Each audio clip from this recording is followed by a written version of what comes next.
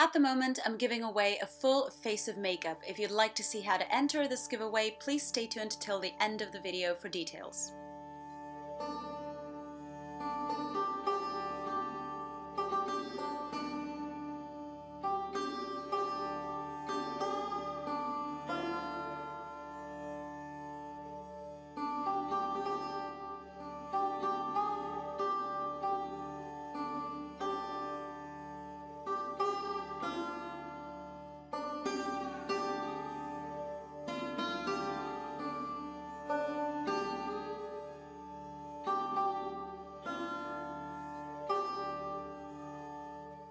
I'm starting off with my regular Bourjois Healthy Mix foundation and I'm taking this all over my face and then I'm going on to fill in my brows with my usual products which is my MAC Concrete eyeshadow and then my black gel liner.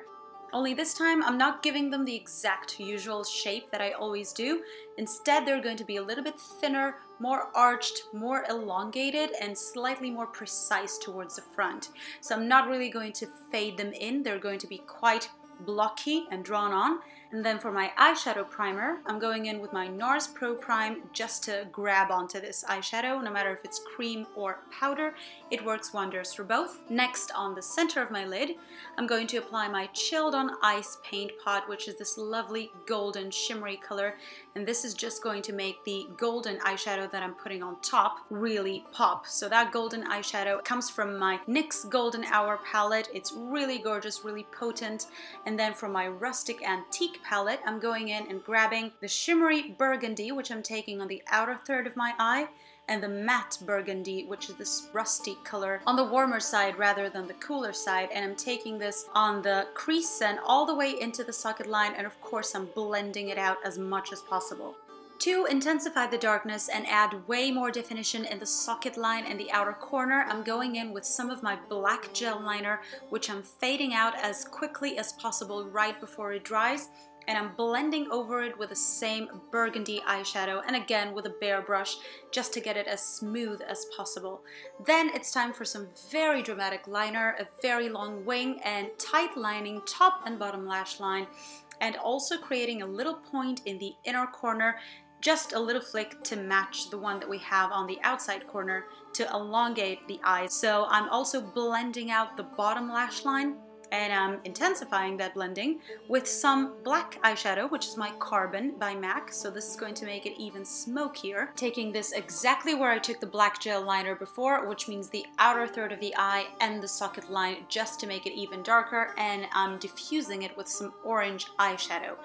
I'm also taking it on the lower lash line and I'm further smoking it out with some purple mixed in with red from my Brights Ultimate Eyeshadow Palette by NYX. Next, I'm going in with a little coat of mascara just to coat top and bottom lashes.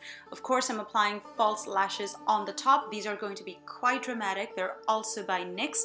Forgive me for not looking straight at the camera, but I think I was distracted because the phone was ringing at the time. So these are the lashes that I'm putting on there. And then I'm going straight in with my concealer, which is my Collection Lasting Perfection.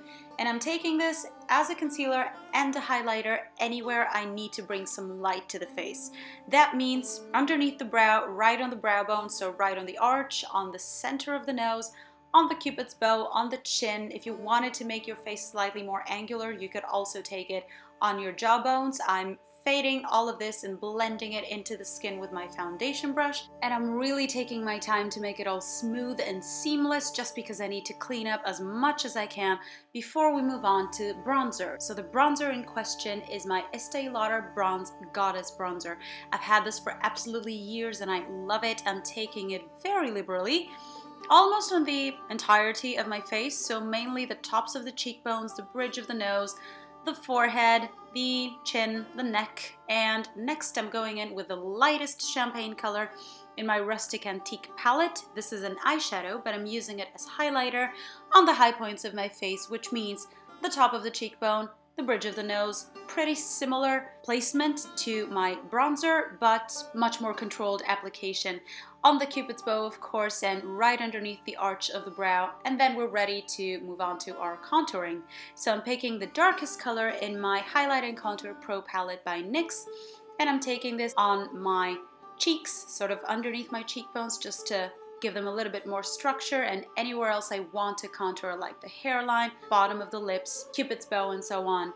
Next I'm powdering everything into place with my translucent powder and I'm ready to shape my lips with my MAC Brick lip pencil, which is just a true red. I'm taking this not just all over the lip, but also outside of it. So I'm overlining at the same time as I love to do, and it gives much more of a dramatic effect. Obviously, you can go for whatever shape you like on your own lips. The way I like to do them is just so they balance out the eyes slightly, which are full on as well. I'm cleaning around the edges of my lips with some concealer just to make them appear much more neat.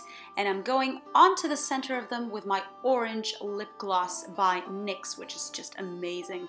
Then, time for a little bit of blush. It is my Melba by MAC, which is a peachy tone. I'm applying this right on the very apples of my cheeks, just blending it softly into the bronzer and all the contours so everything is seamless.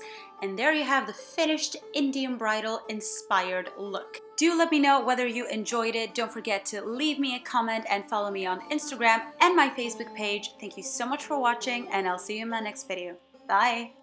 So I reached my 30,000 subscriber mark and I couldn't thank you guys enough. I chose to put together 11 makeup and hair items to thank you with this international giveaway. So what that comprises is a palette by NYX which is full of lovely autumn colors, two off black eye pencils, two off white eye pencils just to intensify that waterline in different ways. Also a khaki golden liquid waterproof eyeliner, a face powder if it's too dark for you you could use use it for contour and illuminating blush in this fun orangey color. You could even apply this as a highlighter if you've got a deeper complexion, a lip primer, and finally a copper metallic lip cream, which is just lush.